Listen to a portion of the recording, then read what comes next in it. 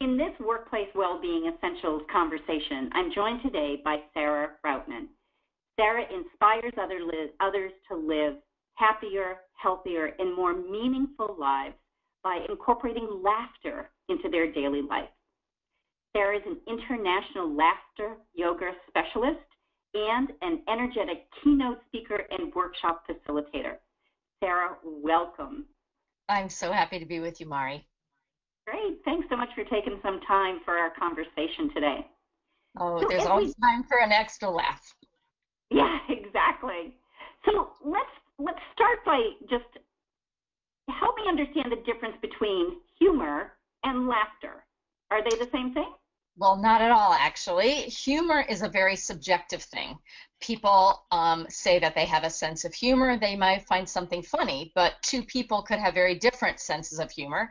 So we may pay a lot of money to go see a comedian, and you may think that it's hilarious, and I may walk out being offended even.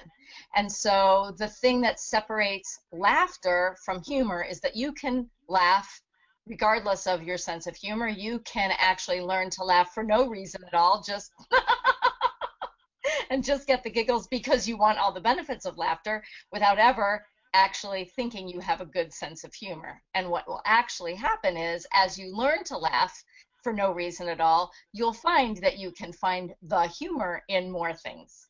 So, but, but the laughter is not dependent on a good sense of humor. Okay, thanks for clarifying that and making that distinction.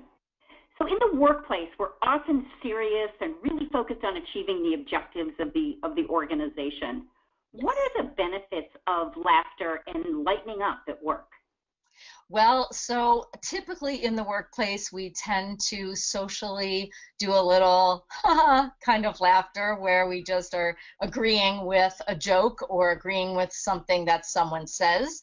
Um, what we want to try to do is generate more robust laughter, if you will.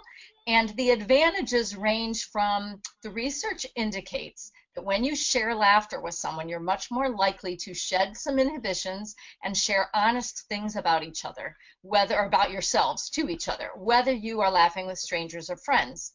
You also cannot physiologically be angry and laugh at the same time. So laughter in the workplace can really help you build a stronger team and more cohesive structure. It's great for uh, dispelling some conflict that may happen when you get people together laughing because they shed those inhibitions. They lose some tension, um, stress, anxiety, and depression are dissipated or lessened when you laugh.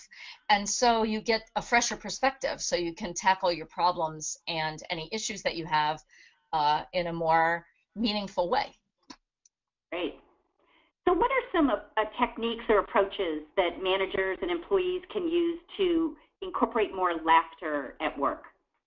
Well, it's always good to try to figure out what actually does trigger some humor for you or does trigger laughter. And again, it might not be a joke. Um, one thing I love to start with is a baby video um, there are like minute and a half videos of the four babies, and they and their mom are lying in bed, and they're just laughing for no reason at all, and you really can't help cracking a smile or even giggling along with them when you see that. Um, depending on your position in the company, you might want to put post-it notes everywhere one day that just say "LOL," try to smile, have a good day, and watch what people do when they walk in and see these beautiful colored post-it notes all around.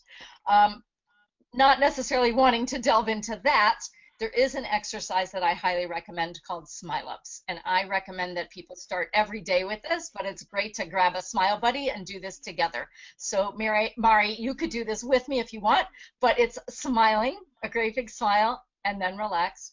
And as you do this, you feel a little silly, and so a giggle might escape you, which is okay. So do it again. We're going to do 10. Relax. 10. Four five, relax. We won't do the rest right now, but what happens is by just smiling, you're sending endorphins to your brain. That's shifting your brain for a happier perspective. And when you do it with someone else and you allow yourself to feel ridiculous, then you start laughing. And once you start laughing, it's contagious. Other people will see you. They may think it's silly. You start laughing, and then it just goes from there. I love it. Well, that's just a great, simple technique that anybody can incorporate into their day Just a, and I could do it anywhere. I can do it in the car. I can do it That's walking right. to the bus. I can do it walking to my next meeting. I can do it anywhere.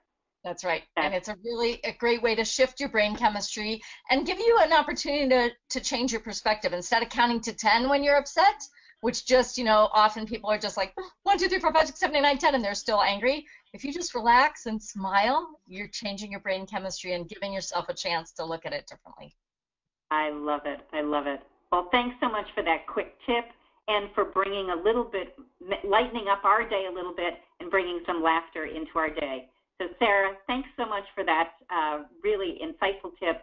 And as you can tell, Sarah would be a great person to have uh, in your organization to be able to bring into your organization to be able to um, make laughter a part of every day at work.